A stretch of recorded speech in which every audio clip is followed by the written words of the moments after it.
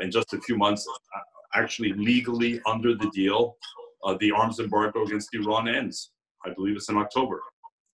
Uh, I mean, it's, it's, it's completely unfathomable that if this just proceeds as, as written, that by October, Iran could go on the international arms market uh, and, and, and make major weapons purchases from countries like Russia and China, presumably, and it would not be in violation of the JCPOA. So there are lots of issues here that will confront both the Trump administration, as long as it's in office, whether for another, what, seven, eight months or another four years, uh, and uh, the, the, Democratic administration if they take office in January. Uh, I find it hard to believe, Colin, that uh, a Biden administration, if it takes office, would simply return to the deal as it was written.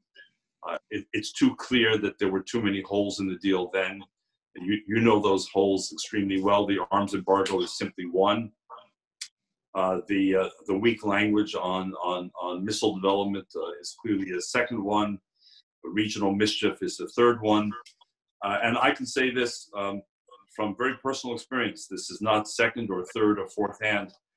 I sat on the seventh floor of the State Department, which is the floor where the Secretary of State and his entourage sit. I sat in their offices during the um, Iran deal on several occasions, and I heard them say their belief was the Iran deal would transform Iranian behavior. They believed that if the deal were signed, it would strengthen the so called moderates in Iran at the expense of the extremists, that Iran's attention would turn increasingly domestic, that all the delayed projects of infrastructure, roads, sewers, hospitals, schools uh, would, would, be, would be the brunt of their attention, uh, and they would lessen their regional mischief. Well, it, it was a nice theory to listen to. In reality, it proved untrue, unfortunately.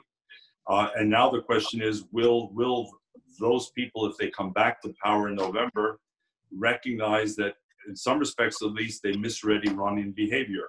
And will they be prepared to acknowledge it and reflect it in the way they go forward with Iran? So you can be sure whatever happens in November, uh, AJC uh, and like-minded institutions are going to be very much focused on the Iran issue because, as you said, Colin, uh, uh, it has been and remains an existential question for Israel and the Jewish people.